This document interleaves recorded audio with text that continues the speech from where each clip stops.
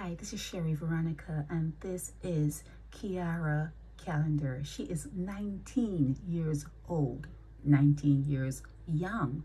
She lived in Four Roads, St. Philip. She rested in Rice's Main Road in St. Philip.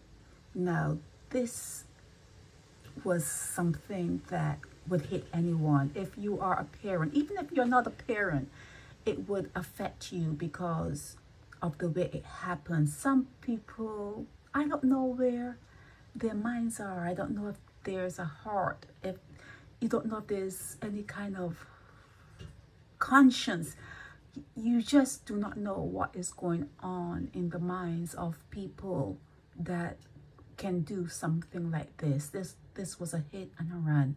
She didn't survive it, but we're hoping, or they are hoping in Barbados, that the person comes forward, has a heart, uh, has a soul, something, just come forward and say, hey, you know, I didn't mean to do it.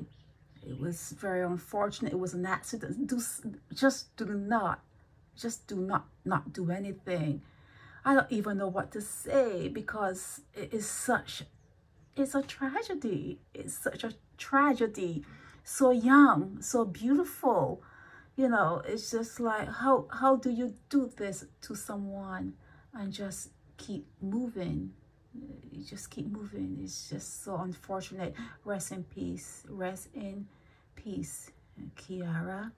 And um, sometimes, you know, when it's your time to go, it just happens when it's your time to go you just go but you just you know everyone you know is probably hoping that she sleeps in peace and the person who hit her and took off or kept on going would come forward. Sheri Veronica